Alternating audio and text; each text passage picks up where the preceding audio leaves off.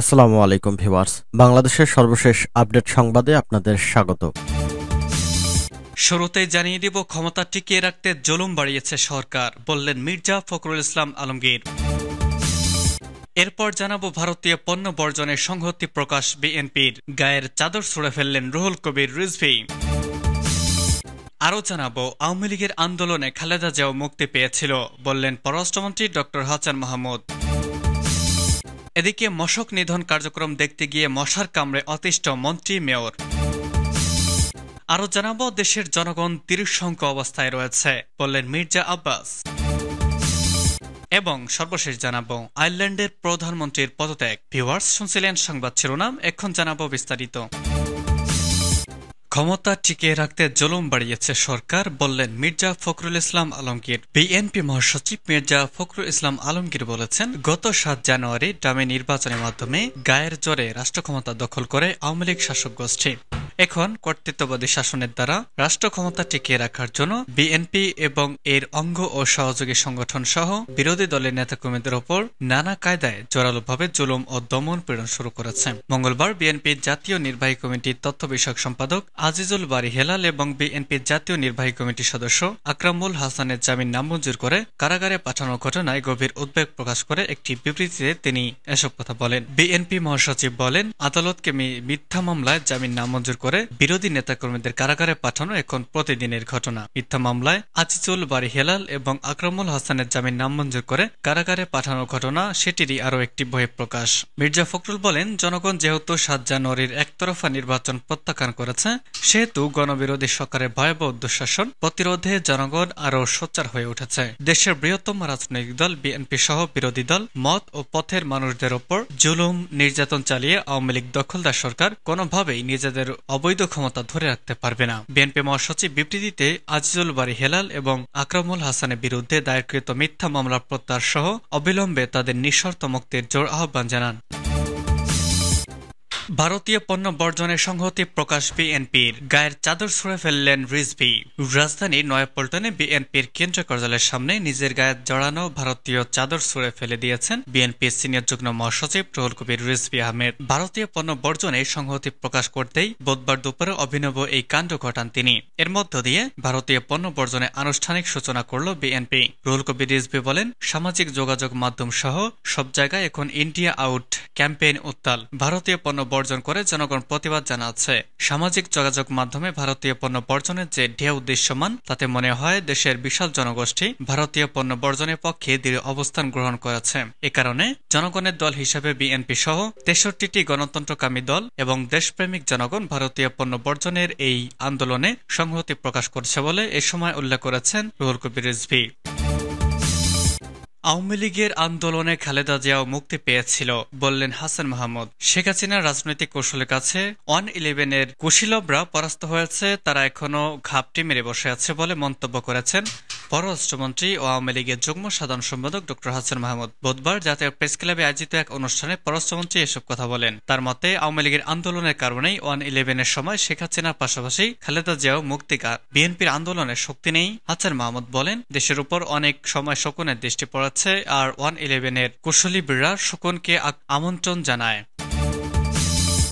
মশক নিধন কার্যক্রম দেখতে গিয়ে মশার কামড়ে অতিষ্ঠ মন্ত্রী মেয়র রাজধানী উত্তরায় মশক নিধনে খাল পরিষ্কার কার্যক্রম দেখতে গিয়ে মশার কামড়ে অতিষ্ঠ হলেন স্থানীয় সরকার মন্ত্রী তাজুল ইসলাম ও ঢাকা উত্তর সিটি কর্পোরেশনের মেয়র আতিকুল ইসলাম বুধবার সকালে তার এক কার্যক্রম পরিদর্শনে যান রাজউকের চেয়ারম্যান আনিসুর রহমান মিয়া সহ ঢাকা উত্তরা সিটি ঊর্ধ্বতন কর্মকর্তারা এই সময় উপস্থিত ছিলেন এর মধ্যে মন্ত্রী মেয়র যখন বক্তব্য রাখছিলেন তখন উপস্থিতি সবাই মশার কামড়ে অতিষ্ঠ হয়েছেন এ সময় মন্ত্রী মেয়র সহ অন্যদের হাত দিয়ে মশা তাড়াতে দেখা গেছে কেউ কেউ মশায় কামড়ে দেয়া স্থানে হাত দিয়ে চুলকাচ্ছিলেন তখন মশা তাড়াতে অ্যারোসেল ব্যবহার করা হলেও মশার উৎপাদ কমেনি এক পর্যায়ে মন্ত্রী নিজেই একজনের কাছ থেকে অ্যারোসেল চেয়ে নেন তাজুল ইসলাম বলেন জনগণের সহযোগিতা নিয়ে সিটি কর্পোরেশন মশা নিধনের চেষ্টা করবে নিধন যতটুকু করতে পারবে করবে তারপরেও মানুষ আক্রান্ত হতে পারে আক্রান্ত হলে স্বাস্থ্য মন্ত্রণালয় চিকিৎসা করবে পরিত্যক্ত ও অমীমাংসিত খালগুলো পর্যায়ক্রমে সিটি কর্পোরেশনকে দেওয়ার পরিকল্পনা আছে বলেও জানান তিনি মেয়র আতিকুল ইসলাম বলেন গুলশান বাড়িধারার মতো লেকে মশা জন্ম হচ্ছে এসব এলাকায় লেকের দুর্গন্ধ চলাচল করাই দেয় যে খালে আজকে কাজ করা হচ্ছে সেটি রাজুক ও আশার খাল অনেকবার খালটিকে আমাদের কাছে হস্তান্তর করে দিতে বলেছি রাজুককে বলেছি ওয়াশাকে বলেছি কিন্তু কেউ পরিষ্কার এগিয়ে আসেনি নিজেদের মধ্যে এমন চলতে থাকলে শেষ পর্যন্ত জনগণ কষ্ট পাচ্ছে যতদিন লাগে সিটি কর্পোরেশনে এখাল পরিষ্কার করে দেব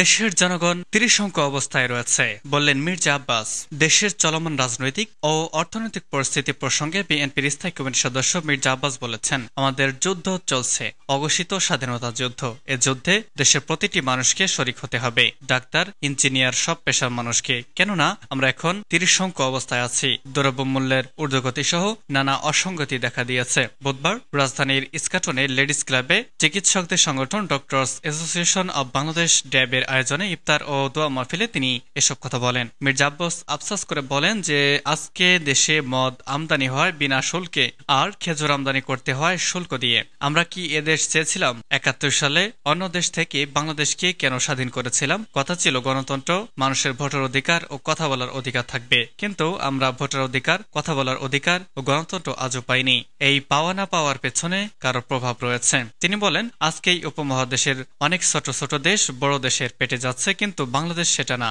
ইনশাল্লাহ সময় সুযোগ আসবে দেশের জনগণ ও তরুণরা সেটা প্রমাণ করবে ড্যাবের সভাপতি অধ্যাপক ড হারুন আল রশেদের সভাপতিত্বে ও মহাসচিব ড মোহাম্মদ আব্দুল সালাম এবং সিনিয়র যুগ্ম মহাসচিব ড মোহাম্মদ মেহেদি হাসানের সঞ্চালনে আরো বক্তব্য দেন বিএনপির স্থায়ী কমিটির সদস্য গয়েশ সচ্চন রায় ড আব্দুল মোয়েন খান বেগম সেলিমা রহমান ভাইস চেয়ারম্যান ড এইচ এদ এম জাইদ হোসেন ড্যাবের প্রধান উপদেষ্টা ড ফরহাদ হালিম টোনার বিএনপির চেয়ারপারসন উপদেষ্টা আব্দুল হাই শিকদার যুগ্ম মহাসচিব মাহবুব উদ্দিন খকন সৈয়দ মোয়াজ্জেম হোসেন আলাল ক্যাডমি নেতা ডক্টর পারভেজ রেজা কাকুন ডক্টর রফিকুল ইসলাম বাচ্চু পেশাজীবী পরিষদের কাদের গণি চৌধুরী ইউটিউবের doctor A B M Obaidul Islam Dhaka বিশ্ববিদ্যালয়ের সাদা দলের অধ্যাপক লুৎফর রহমান ড্যাব নেতা doctor A K M Azizul Haque doctor M A Selim doctor Mohammad Shahidul Alam doctor মুসাদে Hossain Billal doctor Zahirul Islam Shakil doctor Shahid Hasan doctor Shejul Islam প্রমুখ এছাড়া ইফতার মাহফিলে উপস্থিত ছিলেন BNP doctor Mohammad Rafiqul Islam Z Riazuddin Nasu Dhaka doctor Rafiqul Kabir Labu Rafiq Sikder Kazi রনকুল Islam Tipu যুবদলের সাধারণ সম্পাদক মোনায়েম মুন্না ছাত্রদলের সাবেক সভাপতি কাজী রনকুল ইসলাম শ্রাবণ সাংবাদিক নেতা ইলিয়াস খান মোহাম্মদ শহীদুল ইসলাম এম খুশিদ আলম পেশাজীবী নেতা প্রকৌশলী খালেদ হাসান পাহিন আশরাফ উদ্দিন বকুল প্রকৌশলী মাহবুব আলম অধ্যাপক শামসুল আলম ড মোহাম্মদ কামরুল আহসান অধ্যাপক নুরুল ইসলাম ড আবুল হাসনাত মোহাম্মদ শামীম ড্যাব নেতা ড মহিউদ্দিন ভৈয়া মাসুম ড এফানুল হক সিদ্দিকি ড শাহ মোহাম্মদ আমানুল্লাহ ড সরকার মাহবুব আহমেদ শামীম শেফ ফরহাদ ডক্টর সৈদা তাজ নাজনীন ওয়ারিস সিমকি ডক্টর জাহিদুল কবির জাহিদ ওলামা দলের সাবেক নেতা শাহ মোহাম্মদ নেসারুল হক কাজী মোহাম্মদ সেলিম রেজা সহ ড্যাব ও বিভিন্ন পেশারা পেশার হাজারো নেতা কর্মী গয়েশ্বর চন্দ্র রায় বলেন দেশে সত্য ও ন্যায় প্রতিষ্ঠা করতে হবে ভোটার অধিকার প্রতিষ্ঠা করতে হবে স্থান কাল ভেদে কোনো আন্দোলন হয় না আমাদের যখন সময় হবে আঘাত করার তখন আঘাত করব জালিমের হাত থেকে দেশকে রক্ষা করতে হলে জালিমকে সরাতে হবে তবেই দেশের জনগণ মুক্তি পাবে দেশনেত্রী বেগম খালেদা জিয়া গণতন্ত্র মুক্ত পাবে তিনি বলেন খালেদা জিয়ার মুক্তি চাইব না আমরা খালেদা জিয়াকে মুক্ত করব দেশকে জালিমের হাত থেকে মুক্ত করব আমরা কি পেলাম আর কি পেলাম না এই হিসাব করা যাবে না বরং আমরা দেশকে কি দিলাম জনগণের জন্য কি করতে পারলাম এই ভেবে আন্দোলনে নামতে হবে ডক্টর আব্দুল মঈন খান বলেন মনোবল শক্ত রাখুন আমরা রাজপথে নেমেছি যে গণতন্ত্রের জন্য আমরা স্বাধীনতা যুদ্ধ করেছি এই সরকারকে হটিয়ে আবার গণতন্ত্র পুনরুদ্ধার করবো ইনশাল্লাহ এটাই হোক আমাদের আজকের শপথ বেগম সেলিমা রহমান বলেন আজকে আমরা কঠিন সময় পার করছি দ্রব্যমূল্যের ঊর্ধ্বগতিতে মানুষ দেশে হারা সাধারণ মানুষ খেতে পারছে না ইফতার মাহফিলে বাধা দেওয়া হচ্ছে গণতন্ত্র উত্তরণে আমাদের ঐক্যবদ্ধ থাকতে হবে সরকার পতন ঘটে আমাদের গণতন্ত্র ফিরিয়ে আনতে হবে